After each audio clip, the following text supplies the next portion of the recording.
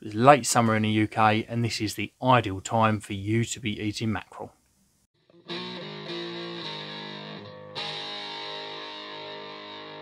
Hi, welcome along to Barbecue Life, home of the Kamado Bono.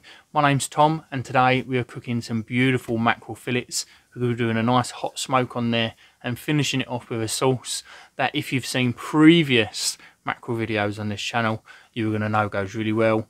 But it's not a sauce that you would generally decide to put with mackerel, in my opinion. So let's crack on with this. I've got four mackerel fillets. They've got a really nice colour to them. I picked these up from Sainsbury's. They were already filleted out. Normally I get my mackerel fresh from a friend of mine, but he's not been able to pick some up due to car troubles this year. So we've gone for supermarket um, mackerel here. Either or works completely well. I've done supermarket mackerel on the channel before. I've done fresh mackerel on the channel before, and they are both equally as good generally these days, providing you get them with a longer um, best before date. Don't take them right towards the end. If you can get them from your fishmonger and they're a bit fresher, then that's even better as well. So this um, hot smoke, we need to get a bit of a cure going on on this fish, and it's only a really quick cure. So we want to go equal parts of sugar and salt into a pestle and mortar. So I just use a teaspoon of each for these four fillets. And we just want to really grind that down into a really smooth consistency. I don't want big chunks of salt on this. I need it all sort of the same level of fineness. And we just want to sprinkle that all over the fleshy side of these mackerel fillets. And as I say, this is going to give us a really quick cure. It's only going to take about an hour. So once you've got all this sprinkled on, pop them in the fridge for an hour while you're sorting out some other bits and getting your Kamado lit. And they will be absolutely perfect once we are ready.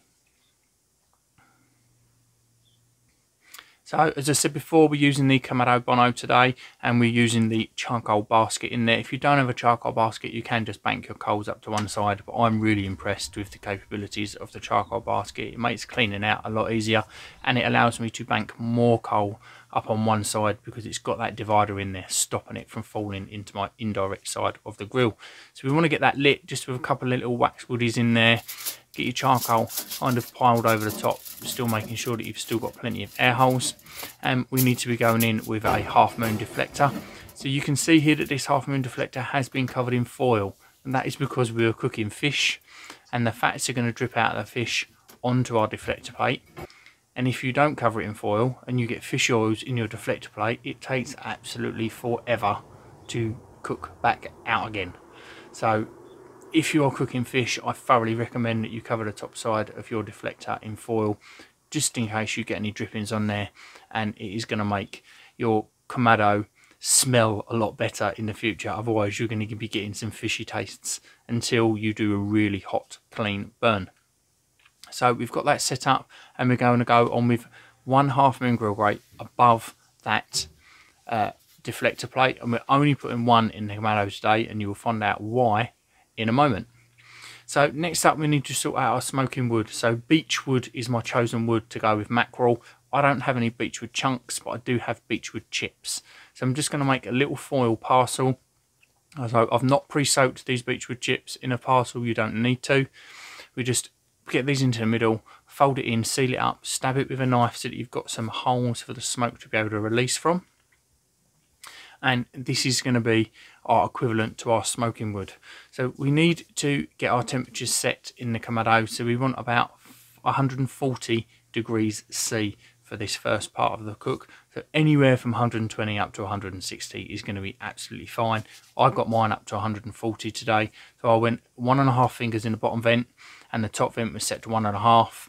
And with that half lot of charcoal in there, that was just about right. If you was to be using a full bottom of charcoal in there and you were setting your vents to that point, you'd probably get a slightly higher temperature. But by only putting half the charcoal in over on one side, that is about right for receiving 140 degrees C.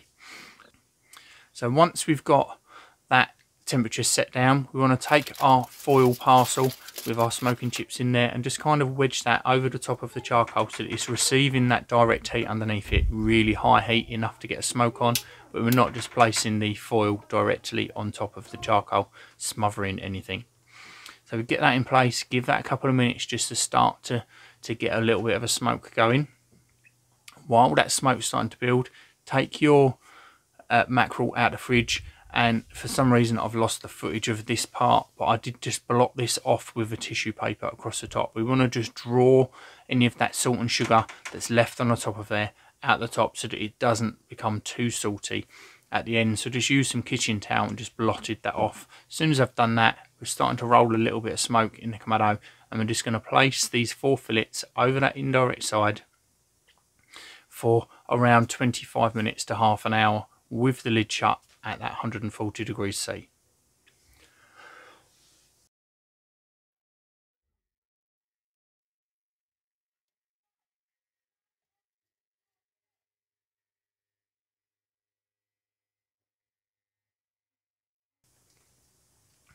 So that beech smoke in there is going to give us a lovely smoky environment to get a nice hot smoke onto these mackerel fillets. And as I say, 25 minutes to half an hour is about right at that temperature. And when we come to that, the end of that time, our mackerel is going to be cooked. So you can take a knife and you can see that it will just flake away. And that is at the point the mackerel is just about done. What we want to do now is something really special. It's going to stop it from sticking to the grill grate because if you try and take it off the grill grate now, it'll be stuck like anything.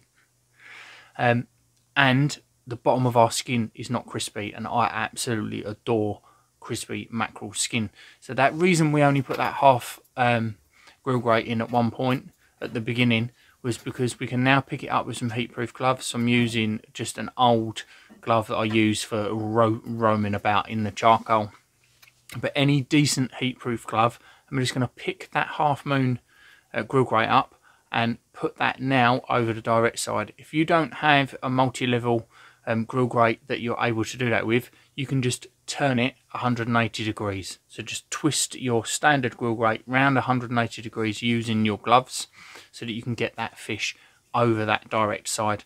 We want to leave that there for about three to four minutes with that direct heat underneath and that is going to crisp that skin up absolutely beautifully and it's going to release it from that grill grate so that we don't have too much trouble trying to get it off after that three to four minutes.